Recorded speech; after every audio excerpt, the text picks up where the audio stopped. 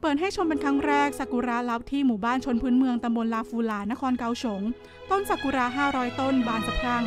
เข้าสู่ฤดูซากุระแล้ว ดอกซากุระหลายแห่งทั่วไต้หวันเริ่มบานสะพรั่ง ปีนี้ที่นครเกาสงมีสวนซากุระลับเพิ่มขึ้นอีกหนึ่งแห่ง คือหมู่บ้านชนพื้นเมืองที่ตำบลลาฟูหลาน เขตเทาหยวนนครเกาสงมีสวนเล็กๆ ที่ปลูกต้นซากุระ 8 ชนิดกว่า 500 ต้นกำลังบานเต็มสวน ราวกับดินแดนสีชมพู ซึ่งผู้ใหญ่บ้านลาฟูหลานเป็นผู้ปลูกต้นซากุระเหล่านี้ด้วยตนเอง และปีนี้เป็นครั้งแรกที่สวนซากุระแห่งนี้เปิดให้เข้าชมนักท่องเที่ยวจำนวนไม่น้อยที่ผ่านไปมาต่างตกตะลึง เมื่อพบเห็นทิวทัศน์ดอกซากุระที่บานสะพรั่งเต็มสวน ภูเขาเขียวขจีเป็นฉากหลัง ยิ่งเผยให้เห็นถึงความโดดเด่นของดอกซากุระ ทิวทัศน์ที่ปรากฏตรงหน้าทำให้ผู้คนรู้สึกราวกับรุดเข้าไปอยู่ในดินแดนเทพนิยาย และสวนซากุระที่ตำบลลาฟูหลานแห่งนี้ ได้กลายเป็นสวนซากุระลับแห่งใหม่ของนครเกาสงซึ่งนอกจากชมดอกซากุระแล้ว ยังสามารถลิ้มรสอาหารชนพื้นเมืองในท้องถิ่น ต่อด้วยการไปแช่น้ำพุร้อน เป็นอีกหนึ่งทริปชมดอกซากุระที่น่าสนใจมากทีเดี